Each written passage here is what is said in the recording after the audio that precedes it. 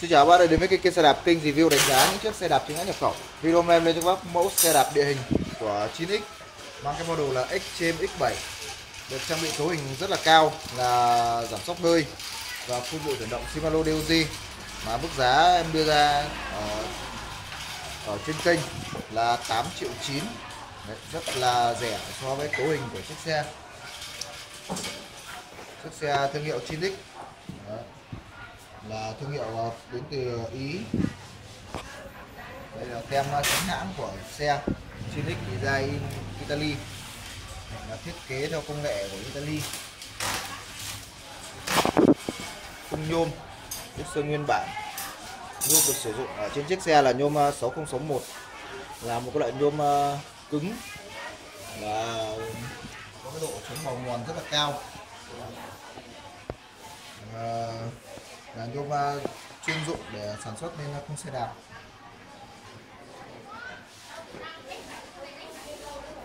được mang cấu hình của full Shimano Ryuji.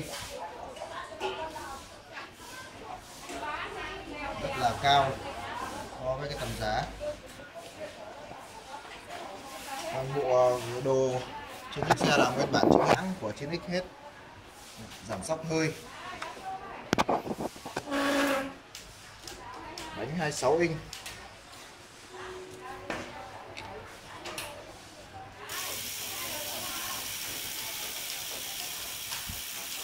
ở trên ờ, ghi đông của chiếc xe. Thì uh, chiếc xe được trang bị bộ tay bấm cũng ở Shimano DOG uh, phanh dầu Shimano. Và có khóa hành trình giảm sóc. Ở trên tay lái.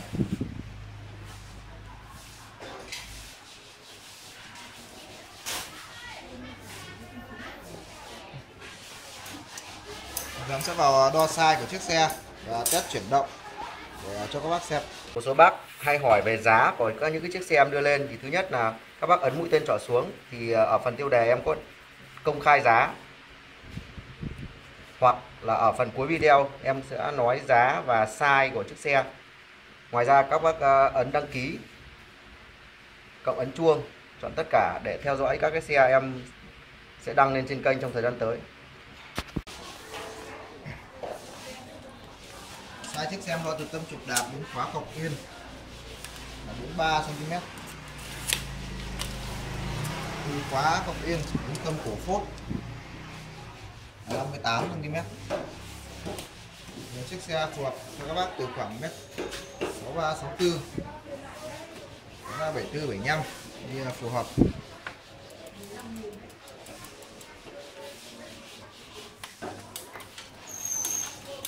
bộ clip 10 tầng và 3 tầng đĩa. Cho chiếc xe có 30 tốc độ khác nhau.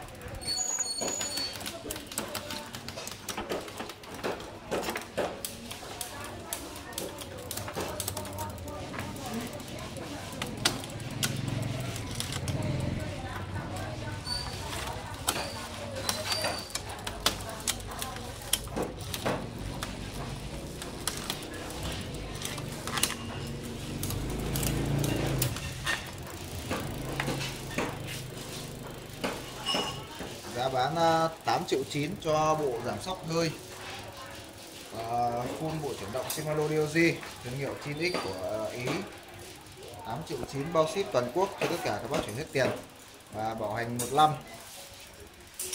Các bác quan tâm đến chiếc xe thì liên hệ số Zalo trên màn hình 0975 709 943 ngoài ra thì các bác ấn đăng ký kênh ở góc phải màn hình và ấn nút chuông để nhận được những cái thông báo mới nhất về những chiếc xe khác và những viên lên kênh. Cảm ơn các bác đã xem hết video. Hẹn gặp lại các bác trong những video lần sau.